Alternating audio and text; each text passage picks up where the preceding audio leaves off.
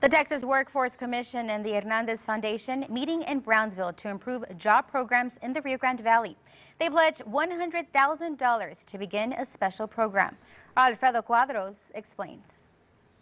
We continue a conversation about the future workforce of the Rio Grande Valley. Today, regional partners talk about apprenticeships and pre-apprenticeships, essentially getting students and community members trained in skilled labor with little to no depth in industries such as welding, carpentry, plumbing, construction. We had to bring education and, and industry together. And in doing that, we realized that we have a huge gap in skilled labor. They say there's not a shortage of people ready to work rather a shortage of skilled workers.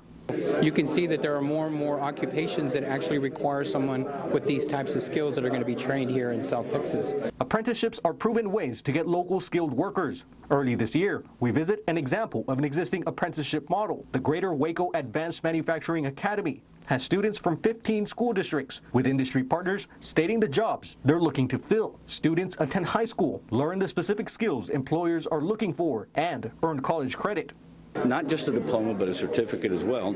And if not, they can continue on, and that certificate counts as credits towards the next degree.